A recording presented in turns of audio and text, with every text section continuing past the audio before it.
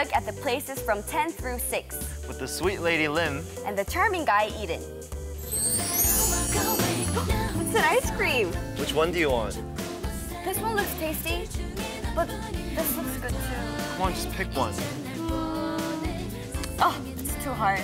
You know what? Just have both. Oh, really? Kara's Runaway is a heartbreaking story of unrequited love, and it's in at number 10.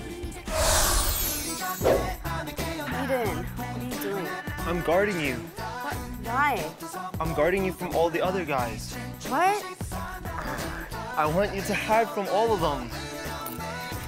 EXO's Growl is about a guy who doesn't want to lose his girl to another guy. It's at number 9.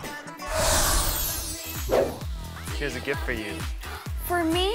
Oh, thank you. I hope you like it. Can I open it right now? Of course. It's a key. What does it open? It's a key to my heart, and I want you to be the only one to have it. Aww. 2NE1's Do You Love Me is an upbeat song, and it's in at number 8. Oh, it's Eden. Hi, Eden. Hey Lim, What's up? so you won't believe this, but you were at Arirang TV station the other day, right? Yeah?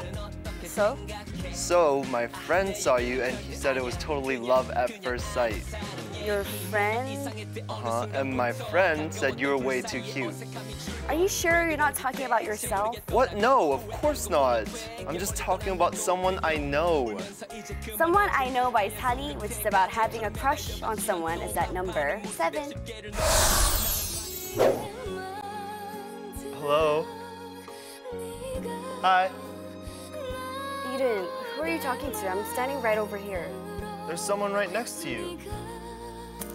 Ow! What's that for? You should stop watching those fan- fantasy dramas. What do you mean you can see someone next to me? Come on, I was just having some fun.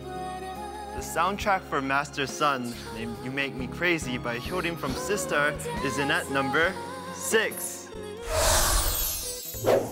We just took a look at some of the songs that received a lot of love this week. So why don't we check out a music video of the song that ranked number 8 this week?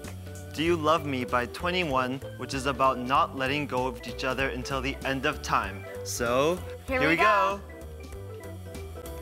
D